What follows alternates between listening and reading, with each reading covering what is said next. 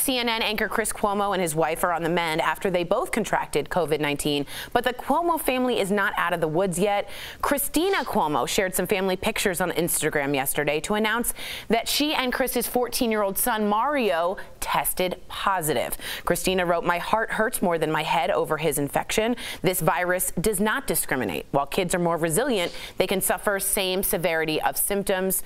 Erica, you've had people close in your family have to deal with things like that. Is this uh, something that you think is relatable to a lot of people?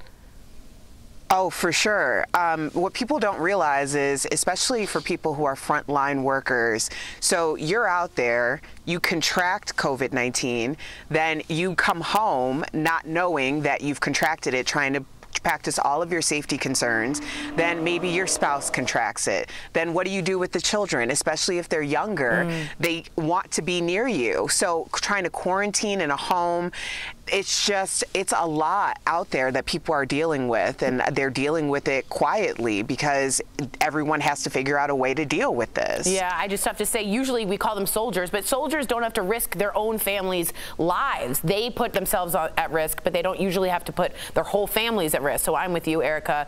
Jeff, let me know how you feel about this. Comedian Tiffany Haddish is trying to spread the love literally by promoting